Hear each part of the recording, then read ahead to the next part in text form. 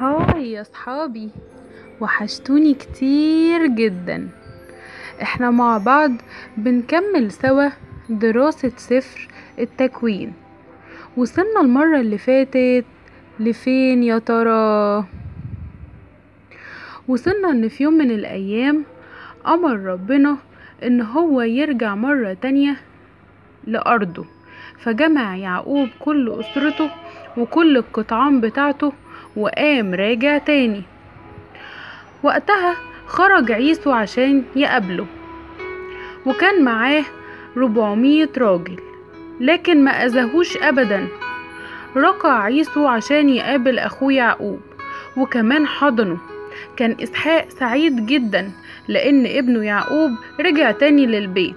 حتى عيسو رحب بأخوه اللي كان قبل كده كان قال إن هو هيقتله. وكان أبناء يعقوب كانوا مش سعدة بسبب يوسف. أخوهم الصغير لأن أبوه كان بيحبه جدا جدا. كان أبوه بيحبه أكتر واحد في إخواته كلهم وعشان كده كانوا بيكرهوه قوي. لأن هو كان يعقوب كان ليه 12 ابن لكن من ضمن ال 12 دول ما كانش بيحب غير يوسف هو أكتر ولاده. ووقتها اداله قميص جميل كان قميص ملون. كان اخوات يوسف كانوا بيغيروا منه جدا. من كتر الغيرة دي كانوا بيكرهوه قوي لأن أبوه كان بيميزه عن باقي اخواته. وقتها شاف يوسف أحلام غريبة. مرة قال لإخواته إن هو شاف في حلمه إن هو بعد جم إن هو جمع حصاد القمح في حزم وسجدت الحزم دي لحزمته. فازدادت كراهية إخواته ليه بسبب الحلم اللي هو قاله لهم. ومش بس كده لأ كمان شاف يوسف حلم تاني قاله لهم. قال لهم أنا شفت شمس وقمر و11 كوكب بيسجدون ليه. فاتضايق أبوه وإخواته ووقتها إيه قعدوا يتكلموا وهم متضايقين إيه وبيقولوا له هو أنت يعني بتقول إن أنت هتبقى ملك عظيم؟ هو ما كانش قصده. هو كان بيحلم وكان بيقول لهم الأحلام اللي بيشوفها. طبعا وقتها غضب جدا إخوات يوسف منه لأن هم شافوه إن هو متكبر وإن بسبب أحلامه دي إنه ممكن إن هو يكون مهم بالنسبة لأبوه أكتر وأكتر. ولأن هو مش شاف حلم واحد لأ شاف حلمين اتنين. وهم اعتقدوا إن هو بكده بيرفع نفسه أعلى من باباه ومن إخواته كمان ويوسف ما كانش قصده كده ابدا. وفي يوم من الأيام بعت يعقوب يوسف للحقل عشان يشوف إخواته ويرعى الغنم معاهم. فلما شافوه إخواته جاي من بعيد قالوا لبعضهم يلا بينا نقتل صاحب الأحلام. اللي هو قصدهم على يوسف قرروا إن هم يقتلوه. وما كانش يوسف عارف إن الخطر مستنيه من إخواته أقرب ناس ليه. كان إخوات يوسف من كتر ما هم متضايقين منه قرروا إن هم يخلصوا منه ويقتلوه. وهو كان بيحبهم ما كانش متوقع ابدا إن ممكن إخواته هم اللي ممكن يفكروا في أذيته ولا إن هم يفكروا إن هم يعملوا فيه أي حاجة وحشة.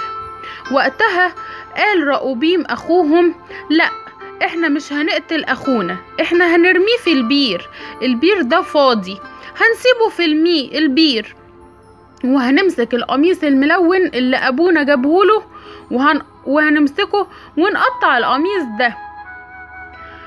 فساعتها هم شافوا إن رأي رأوبيم اللي هو أخوهم الأكبر آه ما كانش يعني حلو قوي يعني مش عارف.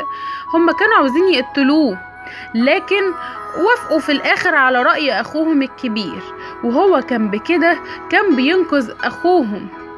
أيوه كان بينقذه بينقذه من إيديهم ومن الموت.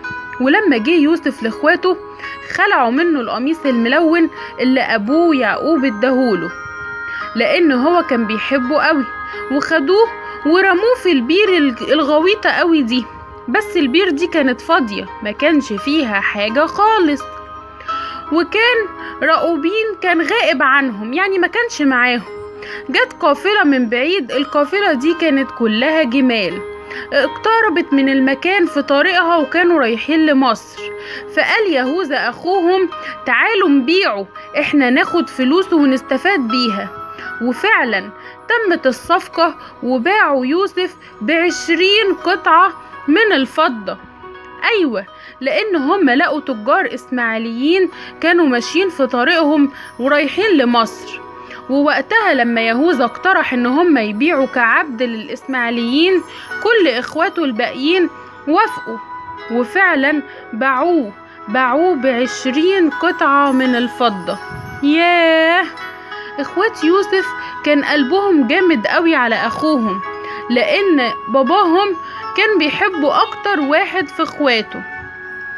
كانت الدموع بتملى عين يوسف وهو خايف وعاجز. شايف الجمال وهي ماشية بعيد عن أهله ووطنه وعن إخواته وعن باباه وعن كل حاجة حلوة كان بيحبها. عمل إخواته القساوة في قلوبهم على إن راحوا لأبوهم يعقوب وأقنعوه إن حيوان بري افترس ابنهم وقالوا له مش ده قميص ابنك يوسف؟ بص هم كانوا وقتها غرقوه بالدم. وقالوا له إحنا لقينا القميص ده في الصحراء لأن هما كانوا عاوزين يقنعوه إن هو مات فعلا. مزق يعقوب ثيابه وقعد ينوح على ابنه اللي مش عارف هو مات وسابه ليه. لأنهم وقتها خدوا القميص الملون وجابوا ماعز وذبحوها وبدم الماعز دي لطخوا القميص بالدم وراحوا ليعقوب وقالوا له إن هو مات. وبكده أقنعوه فعلا إن هو مات. ياه يعقوب كان زعلان قوي. وفي مصر باع الإسماعيليين يوسف لفوتيفار. ده كان واحد من ضباط فرعون. بارك ربنا يوسف فكان ناجح دايما. وجعله فطيفار مسؤول عن بيته كله. لأن كان يوسف كان حكيم جدا في كل قراراته وكل حاجة كان بيعملها.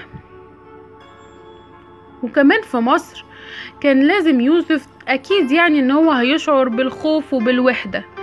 كان دايما نفسه يرجع لبيته وأبوه وإخواته لكن ما يقدرش يهرب لأنه بقى عبد في بيت فوتيفار وده كان من الشخصيات المهمة جدا في مصر. شاف يوسف إن هو لازم يعمل ويشتغل بجد وإن هو ممكن وقتها هياخد محل ثقة عند فوتيفار. وفعلا يوسف عمل كده. وفي يوم من الأيام قال فوتيفار ليوسف كل شيء تعمله أنت بتنجح فيه لأن ربنا دايما معاك. عشان كده أنت هتكون خدامي الرئيسي مسؤول عن كل تجارتي وكمان هتبقى رئيس لكل خدمي الباقيين اللي موجودين في البيت. وربنا إدى حصاد وفير وثروة كتيرة جدا لفوتيفار بسبب يوسف. ورغم إن هو أصبح راجل مهم جدا لكن يوسف كان مازال بيثق في ربنا وكان بيخدمه بإخلاص. لكن في مشكلة صدفت يوسف في حياته وهو في بيت فوتيفار. يا ترى إيه هي المشكلة اللي ممكن تكون حصلت ليوسف وهو في بيت فوتيفار وبعد ما خد مكانة كبيرة جدا عند فوتيفار؟ يا ترى إيه المشكلة اللي واجهتك يا يوسف؟ ويا ترى حلتها إزاي؟ حلتها بدماغك البشري ولا بتدخل ربنا؟ ولا عملت إيه بالظبط؟ يوسف قصته حلوة جدا وشيقة وفيها أحداث كتير إحنا لسه معرفناهاش استنوني المرة الجاية عشان نكمل مع بعض بقية الأحداث.